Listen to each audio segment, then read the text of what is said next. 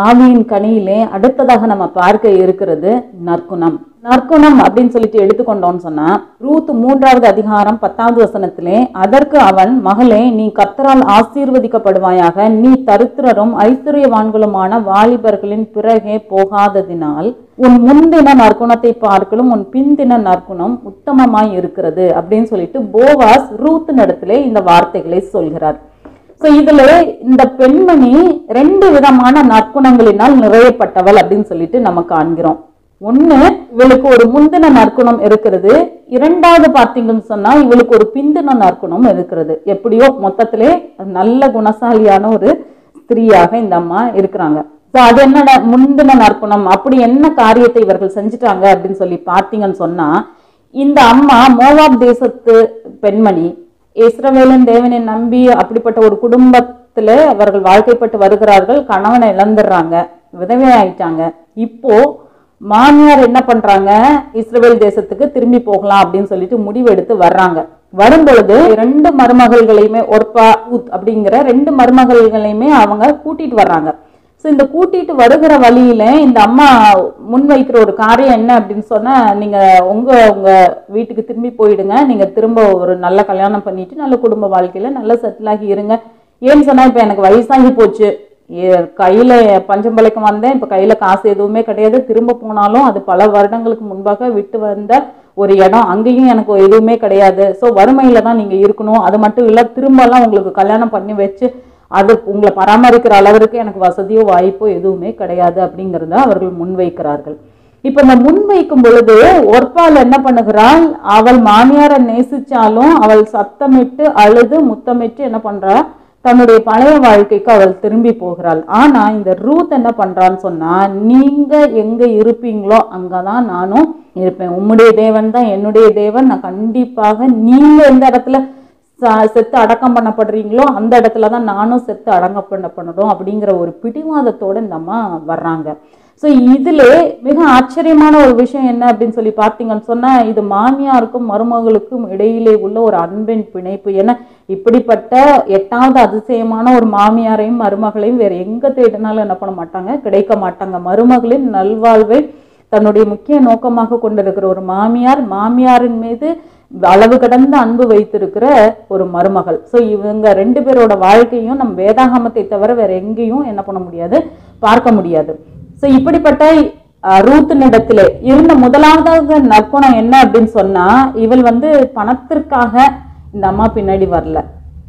வசதி வாய்ப்புகளுக்காக அவள் எதிர்பார்த்திருந்தாள் அப்படின்னு சொன்னா மோவாப் தேசத்துக்கே திரும்பி போயிருப்பா. அதே மாதிரி ரொம்ப கம்ஃபர்டபுளான ஒரு வாழ்க்கையை நான் லீட் பண்ணணும் அப்படின்னு நினைச்சிருந்தா இந்த அம்மா தன்னுடைய தேசத்திற்கு போய் ஏன்னா அங்கே விதவைகள் மரமணம்? அப்படிங்கிறது அப்படி அந்த காலத்திலே ஒன்றும் இல்லாத ஒரு விஷயம் கிடையாது. ஈஸியாக அவர்களுக்கு மணமகன் கிடைத்திருப்பார்கள். அது மட்டும் இல்லை அந்த அம்மா எப்படிப்பட்ட மணமகனை அடைவதற்கு தகுதியுடையவர்கள் அப்படின்னு அங்கே போவா சொல்கிறார்னு சொன்னால் வாலிபரும் ஐஸ்வர்யவான்களுமான மணமகள் அவளுக்கு கிடைக்கக்கூடிய அளவிற்கு இவளுக்கு அழகு மற்ற எல்லா குணநலன்களும் இருக்குது அப்படிங்கிறது தான் அவர் அங்கே குறிப்பிடுகிறார். ஸோ இப்படி போயிட்டா உடனே டக்குன்னு அவங்களுக்கு கண்டிப்பாக திருமணம் நடக்கும். சாதாரண இடத்துல அவர்களுக்கு திருமணம் நடக்க போகிறது இல்லை ஐஸ்வர்யவான்களான வாலிபர்கள் கியூல வந்து நின்று நம்ம திருமணம் செய்து கொண்டு போகிற அளவிற்கு தகுதியுடைய ஒரு நபர் இந்தம்மா ஆனா இவர்கள் என்ன பண்றாங்க? எல்லாத்தையும் உதறி தள்ளிட்டு எங்க வர்றாங்க அப்படின்னு சொன்னா குடிசையிலே குடிசையில வந்தாலும் இவர்கள் உட்கார்ந்து ஒரு வேலை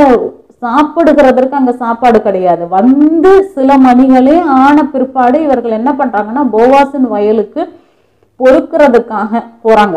அப்ப நிம்மதியா உட்கார்ந்து சாப்பிடுகிறதற்கு ஒரு இடம் இல்லை சாப்பாடும் கிடையாது லிட்டரலா அங்க. அது மட்டும் இல்ல இவர்கள் என்ன பண்ணணும் இந்த வயசான இந்த அம்மாவை பராமரிக்கணும் வேற. அவர்களால வேலை செய்ய முடியாது. ஸோ இப்படிப்பட்ட ஒரு நிலைக்கு அவங்க வாலண்டியரா என்ன பண்றாங்க? வருகிறார்கள். தன்னுடைய தகுதி தெரியும்.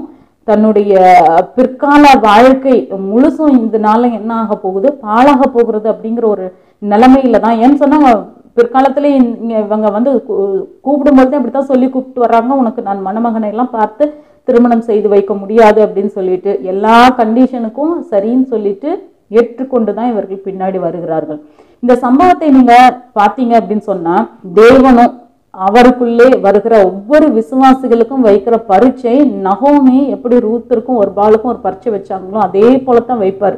எப்பவுமே சொல்லிடுவாரு நீங்க நம்பி வந்தீங்கன்னா உங்களுக்கு என்ன கிடைக்காது பைசா இருக்காது உங்களை எல்லாரும் கேவலமா பேசுவாங்க உலகமே உங்களை எதிர்க்கும். உங்க சொந்த வீட்டிலேயே நீங்க பகையாளிகளை போல நடத்தப்படுவீர்கள். சில நேரம் உங்க வீட்டை விட்டு கூட உங்களை துரத்தி விட்டுருவாங்க. ஏன்னு சொன்னா இது எதுவுமே தேவன் வந்து மறைச்சு வைக்கவே இல்லை. அவர் வேதவசனத்திலே எழுதியிருக்கிறாரு. நீங்கள் தேவபக்தியாய் கிறிஸ்து இயேசுவுக்குள் நடக்க மனதுள்ளவர்கள் ஆனீர்கள் என்றால் துன்பப்படுவீர்கள். இந்த உலகத்தில் உங்களுக்கு உபத்திரவம் உண்டு. சொந்த வீட்டிலேயே உங்களை என்ன பண்ணுவாங்க? பகைப்பாங்க. இதெல்லாமே தேவன் ஏற்கனவே சொல்லி வச்சுட்டாரு. ஸோ அது மட்டும் இல்லை நிறைய பேர் பார்த்தீங்கன்னு சொன்னால் இன்றைக்கும் கிறிஸ்தவர்கள் ஆயிட்டாங்க இல்லை கிறிஸ்துவை ஏற்றுக்கொண்டுட்டாங்க அப்படின்னு சொன்னால் முதலாவதாக அவர்களுக்கு வருகிறது பாராட்டு பத்திரம் கிடையாது. முதல்ல அவர்களை அடித்து உதச்சி நிறைய பேரோட வீட்டில இருந்து துரத்தி விட்டு உனக்கு சொத்து கிடையாது அப்படின்னு சொல்லிட்டு அவர்களுடைய வசதி வாய்ப்புகளை மறுத்து நிறைய அவர்களோட கம்ஃபர்ட் ஜோன் எல்லாம் தகர்த்து எரிகிற காரியங்கள் தான் உடனடியாக நடக்கிறது. நிறைய பேர் பார்த்தீங்கன்னு சொன்னா இந்த மாதிரியான சோதனை முதலாவதாக வரும்போது அதாவது வீட்டுல சொல்றாங்க இனி உன்னை சேர்த்துக்க மாட்டோம். உனக்கு எனக்கு எந்த தொடர்பும் இருக்கக்கூடாது. இனி வந்து நீ எங்க மூஞ்சிலே முழிக்க கூடாது நாங்க செத்தா கூட எங்களுக்கு கொல்லி போடுறதுக்கு நீ வரக்கூடாது. சொத்துல ஒரு பைசா நாங்க உனக்கு தர மாட்டோம் ஸோ இது மாதிரி நிறைய காரியங்களை சொல்லும் பொழுது ஒரு சில பேர் என்ன யோசிக்கிறாங்கன்னு சொன்னால் இத்தனையும் இழந்துட்டு நான் வந்து இயேசுவை பின்பற்றி போகணுமா? அப்படின்னு சொல்லி யோசிச்சுட்டு நிறைய பேர் ஒரு பால் மாதிரி ஒரு பால் என்ன பண்ணுறா மாமியாரை ரொம்ப தான் நேசிக்கிறா. அவள் வந்து முதல்ல பார்த்தீங்கன்னு சொன்னால் அழுகிறா அவளுக்கு போகிறதுக்கு மனசே இல்லை. ஆனால் இந்த கண்டிஷன்ஸ் எல்லாம் கேட்டோடனே அவளுக்கு தோணுது போகிறது நமக்கு என்ன இல்லை சரியில்லை அப்படின்னு சொல்லிட்டு. நிறைய பேரோட வாழ்க்கை பார்த்தீங்கன்னு சொன்னால் அப்படி தான் இருக்குது கிறிஸ்துவுக்குள்ளே அவர்கள் என்ன யோசிக்கிறாங்கன்னா ஆசீர்வாதங்கள் இருக்கிற வரைக்கும் அல்லது ஆசீர்வாதங்களை தேவன் தருகிறார் அப்படின்னு சொல்லிட்டு அவர்கள் கேள்விப்படுகிற வரைக்கும் பின்னாடி வருவாங்க. ஒரு சிலருக்கு அந்த ஆசீர்வாதங்கள் நின்றுருச்சு அப்படி இல்லைன்னு சொன்னால் சோதனை காலம் ஆரம்பிக்குது டெஸ்டிங் பீரியட் இருக்குது அப்படின்னு சொன்னாலே என்ன பண்ணிடுவாங்க? கம்ப்ளீட்டாக பின்வாங்கி ஓடி போயிடுவாங்க. அவர்கள் சொல்வாங்க எனக்கும் இயேசு பிடிக்கும் எனக்கும் இயேசு பிடிக்கும் அப்படின்னு சொல்லிட்டு வாயினாலே வெறுமனை சொல்வார்களே ஒழிய தேவனுக்காக சோதனையை சகிக்கவோ தேவனுக்காக உபத்திரவப்படவோ தேவனுக்காக நெருக்கப்படவோ தேவனுக்காக அவமானங்களையும் சங்கடங்களையும் சகிக்கவோ இவர்களுக்கு மனசு இருக்காது. எப்போ இது ஆரம்பிக்குதோ அப்போ உடனே என்ன பண்ணிடுவாங்க? தங்களுடைய கம்ஃபர்ட் ஜோனுக்கு போயிடுவாங்க. ஸோ இந்த டெஸ்ட்டு விசுவாசிகளான ஒவ்வொருவருக்கும் ஒவ்வொரு நிலையிலும் உண்டு. உங்களுக்கு முன்னாடி எப்பவுமே ரெண்டு பாதை பிரிஞ்சிருக்கும். ஒரு பாதையிலே உங்களுக்கு கண்ணுக்கு இன்பமான எல்லாமே வச்சிருப்பாரு. தேவன் சொல்வார் அப்பா என்ன பின்பற்றி வந்தீன்னு சொன்னா அதெல்லாம் கிடைக்காது. இந்த பாதை எப்படி இருக்கும்? ரொம்ப வனாந்தரமான வா- பாதை. இதில் வந்து செழிப்புங்கிறதெல்லாம் நீ வந்து யோசிக்கவே முடியாது. இதில் வந்து நீ தண்ணிக்கு கஷ்டப்படணும். இதில் வந்து நீ ஒவ்வொரு நேரமும் சாப்பிட்றதுக்கு என்ன கிடைக்கும் அப்படின்னு சொல்லிட்டு உட்காந்துக்கிட்டே இருக்கணும். வானத்துலேருந்து எப்போ மண்ணா வரும் அப்படின்னு சொல்லிட்டு உட்காந்துருக்கணும் அப்புறம் இறைச்சி கிடைக்குமா அப்படின்னு சொல்லிட்டு ஜெபிச்சா தான் என்ன ஆகும் உனக்கு கிடைக்கும். ஆனால் இன்னொரு பாதை இருக்குது. அதுக்குள்ள இருந்தீன்னு சொன்னால் உனக்கு கண்ணுக்கு பசுமையாக இருக்கும். உனக்கு வேணுங்கிறதெல்லாம் கிடைக்கும். நினச்ச நேரத்தில் நினச்ச விஷயங்களை நீ செய்து கொள்ளலாம். ஸோ இப்படி தான் நிறைய பேரோட வாழ்க்கையில் என்ன இருக்குது? உலகமும் தேவனும். ஸோ இந்த உலகமும் தேவனும் அப்படிங்கிறதுக்குள்ள அவர்கள் அப்படியே என்ன பண்ணுறாங்க யோசிக்கிறாங்க. அவர்களுடைய ஆசைகளை இச்சைகளை நிறைவேற்றிக் கொள்கிறதற்கு உலகம் அவர்களுக்கு ரொம்ப தேவையாக இருக்கிறது. அவர்களுக்கு அதுவும் தேவையா இருக்குது. அதே நேரத்துல தேவனோட கூடமும் அவர்களுக்கு உறவு இருக்கணும். ஏன்னு சொன்னா சொர்க்கத்துக்கு போகிறதுக்கு ஒரு ஒருத்தர் தானே வழி. ஸோ அதனால அவர்கள் என்ன யோசிக்கிறாங்க? இதுலயும் இருக்கணும் அதுலயும் இருக்கணும். நீங்க அப்படி ரெண்டு பாதையில என்ன பண்ண முடியாது? நடக்க முடியாது. ஒண்ணு அதுல போனீங்கன்னு சொன்னா இந்த பாதையை மறந்துட வேண்டியதான் இல்ல தேவனுக்காக நீங்க அடி எடுத்து வச்சீங்க அப்படின்னு சொன்னா உடனடியாக உங்க வாழ்க்கையில செழிப்பு வரப்போகிறதில்லை. உடனடியாக உங்களுடைய வாழ்க்கைகளை உயர்வு வரப்போகிறதில்லை. உடனடியாக நீங்க எல்லார் கண்களுக்கும் முன்பாக உயர்த்தப்பட போவதில்லை ஆனால் தேவன் ஒரு குறிப்பிட்ட காலம் வைத்திருக்கிறார். ஸோ அந்த காலம் வரைக்கும் நீங்கள் சோதனை சகித்தீர்கள் என்றால் நீங்க அந்த பாதையில நடக்கிறதற்கு முயன்று நின்றீர்கள் அப்படின்னு சொன்னா ரூத்தை போல ஒரு நாள் நீங்கள் கண்டிப்பாக உயர்த்தப்படுவீர்கள். ஆனா முதலாவதாக நீங்க என்ன பண்ணணும்? உங்களுடைய இருதயத்திலே தீர்மானிக்கணும். அது மட்டும் இல்ல அந்த பாதையில நடந்து இஸ்ரவேலின் தேவனுடைய செட்டைகளுக்கு கீழாக அடைக்கலம் தேடி அங்கே காத்திருக்கணும்.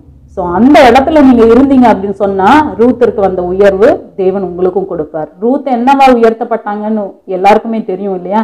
அவர்கள் இயேசு கிறிஸ்துவனுடைய வம்சாவளியிலே அவர்களுடைய பெயர் வருகிறது. ஸோ அப்படிப்பட்ட ஒரு பெரிய உயர்வை இந்த அம்மா பெற்றுக்கொண்டார்கள். ஸோ இது வந்து முதலாவதாக நற்குணம் அப்படின்னு சொல்லிட்டு பார்க்கணும் ரெண்டாவதாக இந்த அம்மா கிட்டே இருந்த நற்குணம் என்ன அப்படின்னு சொல்லி பார்த்தீங்கன்னு சொன்னால் இப்போ நகோமி இந்த அம்மாவிற்கு ஒரு நல்வாழ்வை தேடுகிறதற்காக இவர்கள் ஒரு பிளான் பண்ணுறாங்க போவாஸை இந்த அம்மாவிற்கு கணவனாக அவர்கள் வந்து செலக்ட் பண்ணுறாங்க ஸோ இதில் என்ன பெரிய இது? ஏன்னா போவாஸ் ரொம்ப பெரிய பணக்காரர் இல்லையா? அது நல்ல நல்லது தானே பிரச்சனை இல்லையே அப்படின்னு சொல்லிட்டு பார்த்தீங்கன்னு சொன்னால் அதாவது ஆராய்ச்சியாளர்கள் சொல்கிறாங்க போவாஸ் அவரை அவங்கள வந்து மகளே மகளேன்னு கூப்பிடுறாரு இல்லையா? அது சாதாரணமாக அவர் அப்படி கூப்பிடல. ஏன்னு சொன்னால் அவருடைய வயது அவ்வளோ அதிகம். வயோதிபரான மனிதன் அவர். அந்த வயோதிபரான மனிதரை கல்யாணம் பண்ணிக்கொள்ள இந்த அம்மா சமாளிக்கிறாங்க அதனாலதான் அவர் சொல்றாரு ரொம்ப ஆச்சரியமாக நீ ஐஸ்வர்யவானும் வாலிபருமான நபர்களின் பின்னே போகாமல் நீ என்ன பண்ண? இப்படிப்பட்ட ஒரு தெரிந்தெடுப்பை நீ தெரிஞ்சரிச்சிருக்கிறியம்மா இதனால உன்னுடைய நற்குணம் விளங்குகிறது அப்படின்னு சொல்லிட்டு சொல்றாரு. அதாவது இந்த நகோமியை இப்ப நம்ம ஆவியானவருக்கு ஒரு முன்னடையாளமாக நம்ம எடுத்துக்கொள்ளலாம். ஆவியானவர் என்ன பண்றாரு? நமக்குன்னு சொல்லிட்டு பல காரியங்களை அவர் சூஸ் பண்ணுகிறார். உலகத்தோட கண்களுக்கு அது வந்து சரியில்லாததை போல தோணலாம். யூஸ்வலாக உலகத்திற்கு மேட்சிங்காக ரொம்ப பர்ஃபெக்டான மேட்ச் அப்படின்னு சொல்லி பார்த்தீங்கன்னு சொன்னால் அழகாக இருக்கணும் கலராக இருக்கணும் ஹைட்டாக இருக்கணும் பார்க்கறதுக்கு ஹேண்ட்ஸமாக இருக்கணும். ஏஜ் குரூப்பும் ரொம்ப வித்தியாசம்லாம் தெரியக்கூடாது. ஸோ இப்படிப்பட்ட நபர்களைத்தான் அவர்கள் என்ன பண்ணுவாங்க? பெர்ஃபெக்டாக அவர்கள் வந்து மேட்ச் பண்ணி வைப்பாங்க. ஆனால் நிறைய நேரம் ஆவியானவர் காட்டுகிறவர்களை பார்த்தீங்கன்னு சொன்னால் இந்த எந்த தகுதியுமே இருக்காது. ஏன்னு சொன்னா அவர் உள்ளான மனுஷனை பார்த்து என்ன பண்றாரு? மேட்ச் மேக்கிங் பண்ணி வைக்கிறார். உலகத்தினுடைய கண்களை பார்த்தீங்கன்னு சொன்னா ரொம்ப வித்தியாசமான மேட்ச் மேக்கிங் அவர்கள் பண்ணி கொண்டிருப்பார்கள். அவர்கள்லாம் வெளிப்புற தோற்றத்தை வைத்து இந்த விஷயத்தெல்லாம் செய்வார்கள். அப்போ தேவ ஆவியானவர் உங்களுக்கென்று நான் வந்து திருமண விஷயத்துல மட்டும் சொல்லல எல்லா காரியத்திலையுமே ஒரு வேலையாக இருக்கலாம். நீங்கள் தங்க போகிற இடமாக இருக்கலாம். ஒரு பிஸ்னஸாக இருக்கலாம். உங்களுடைய படிப்பாக இருக்கலாம். எந்த ஒரு காரியத்திலையுமே தேவ ஆவியானவர் ஒரு காரியத்தை உங்களுக்குன்னு சொல்லிட்டு இது பெஸ்ட்டாக இருக்கும் அப்படின்னு சொல்லிட்டு குறிச்சாருன்னு சொன்னால் நீங்கள் என்ன பண்ணுங்க? அவருக்கு முதலிடம் கொடுத்து அவருக்கு கீழ்ப்படிந்து நடந்து கொண்டீர்கள் அப்படின்னு சொன்னால் உங்களுடைய வாழ்க்கை கண்டிப்பாக சிறக்கும். நான் வந்து இதை வந்து அரேஞ்ச் பண்ணியே உங்களுக்கு சொல்லுகிறேன். அதாவது நான் இந்த உலகத்திலே நீங்கள் வந்து மேலே வரணும் நீங்கள் வந்து பெஸ்ட்டாக வரணும் அப்படின்னு சொன்னால் உலகம் ஒரு ஃபார்முலா வச்சுருக்குது. நல்லா உழைக்கணும் அல்லது நல்லா படிச்சிருக்கணும் அது நல்ல புத்தி கூர்மை உள்ளவர்களாக இருக்கணும் அல்லது அட்லீஸ்ட் பார்க்கறதுக்கு ரொம்ப பியூட்டிஃபுல்லாக இருக்கணும். ஸோ இது மாதிரியான க்ரைட்டீரியாஸ் எல்லாம் இருக்குது உலகத்திற்கு. இப்படியெல்லாம் இருந்தீங்கன்னு சொன்னால் நீங்கள் என்ன பண்ணிடலாம் வாழ்க்கையில் மேலே வந்துடலாம் உங்ககிட்ட இருந்து உலகம் எதிர்பார்க்கிற திறமைகள் வித்தியாசமானது. ஆனால் தேவன் எதிர்பார்க்கிற தகுதி என்ன அப்படின்னு சொல்லி பார்த்தீங்கன்னா முதலாவதாக கீழ்ப்படிதல். ரெண்டாவது தகுதி என்னன்னு கேட்டிங்கன்னா கீழ்ப்படிதல். மூன்றாவது படி என்னன்னு கேட்டிங்கன்னு சொன்னால் கீழ்ப்படிதல். இப்படி எத்தனை படி நீங்கள் கேட்டிங்கன்னு சொன்னாலும் அத்தனை படியும் கீழ்ப்படி தான் அப்போ நீங்க கீழ்ப்படிந்தால் மட்டும் போதும் தேவனுக்கு. மற்ற எல்லாத்தையும் தேவனே பார்த்து கொள்வார். ஸோ இந்த அம்மாவுடைய காரியத்தில் பாருங்க இந்த அம்மா வந்து எதையுமே பார்க்கவே இல்லை. இவருக்கு வயசாயிடுச்சா? இவர் வந்து பேக்ரவுண்ட் எப்படி இருக்குது? இவ இவருக்கு வந்து நம்ம ஒத்து வருமா ஒத்து வரலையா? ஸோ இது மாதிரி எந்த கொஷினுமே கேட்கல. நகோமி சொல்லிட்டாங்களா? சரியாக தான் இருக்கும். ஸோ இதே காரியம் தான் உங்களிடத்திலும் என்னிடத்திலும் இருந்து தேவன் எதிர்பார்க்கிற காரியம். அவர் சர்வ வல்லமை உள்ள தேவர் அவர் சர்வ ஞானி. அவருக்கு எல்லாமே தெரியும் முன்னால பின்னால எல்லாமே தெரியும். நம்ம கேள்வி கேட்காமல் கீழ்ப்படுகிறதான் தேவன் வந்து எதிர்பார்க்கிறார். ஸோ உங்களுடைய மொத்த வாழ்க்கையையும் அது எந்த விஷயமாகவும் இருக்கட்டும் நான் சொன்ன மாதிரி உங்களுடைய திருமணம் உங்களுடைய படிப்பு உங்களுடைய பிஸ்னஸ் நீங்கள் பார்க்குற வேலை இது இது மாதிரி எல்லா காரியத்திலையுமே தேவனுடைய விருப்பத்தை முன்னாடி வச்சு தேவன் என்ன சொல்கிறாரோ அதுக்கு இன்னும் அளவு கூட இங்கேயும் அங்கேயும் மாறாமல் உங்களுடைய காரியத்தை நீங்கள் செய்து நிறைவேற்றினீங்க அப்படின்னு சொன்னால் உங்களுடைய வாழ்க்கை ரூத்தோட வாழ்க்கையை போல் ஒரு நற்குணம் நிறைந்த ஒரு சாட்சி உள்ள வாழ்க்கையை தேவன் கண்டிப்பாக மாற்றுவார். நீங்கள் தெரிந்தெடுப்பதிலே நற்குணசாலிகளாக இருக்கணும். உங்களுடைய தீர்மானத்திலே நீங்கள் நற்குணசாலிகளாக இருக்கணும். மூன்றாவதாக உங்களுடைய கீழ்ப்படுதலிலே நீங்கள் நற்குணசாலிகளாக இருந்து இந்த கிறிஸ்தவ வாழ்க்கையை ஒரு ஜெயமுள்ள வாழ்க்கையாய் வாழ்ந்து முடிக்க ஆவியானவர் உங்களுக்கு உதவி செய்வாராக. கர்த்தர்களை ஆசிர்வதிப்பார்.